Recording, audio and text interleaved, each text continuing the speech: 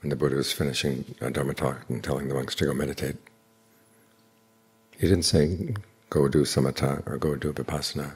He said, go do jhana. In other words, do concentration. The samatha, tranquility, and the vipassana, insight, those are qualities of mind that you bring to the practice of jhana, bring to the practice of concentration. And they get developed as you bring them. It's like bringing your body to an exercise. You engage in the exercise and the body that you brought gets stronger. Of course, when you're doing jhana, you're not focusing on jhana itself, you're focusing on the breath. So for the time being, make the breath the one thing you're interested in right now. Give it your total attention and be totally aware of it all around.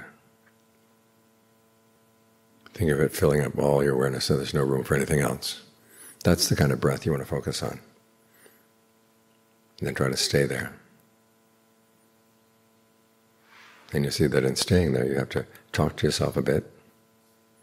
Ask yourself, does the breath feel really good? Is there any way that it can be improved? And if it's already good, what can be done to maintain that? And when it's maintained, how can you spread it around? You'll have that conversation. And you'll have an image in mind of how the breath surrounds you, how your awareness is all around. And there'll be a feeling of pleasure.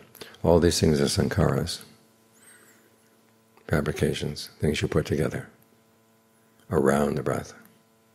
And these are the things you need to know. So everything you need to know gathers right here. And on terms where it's really useful to look at it. When you step back from your inner conversation, realize you're directing your thoughts and you're evaluating things, and that's all it is. It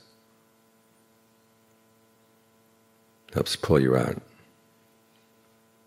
And then you can understand these fabrications better and better.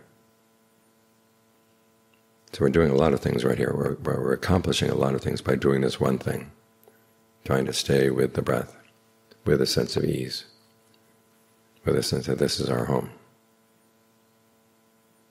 The word jhana is related to a verb jhayati, which means to burn. Now in Pali they have different verbs for burn. A regular fire is jalati, kind of fire that has flames that flicker here and there. But a steady flame, like the flame of an oil lamp, that's jhayati.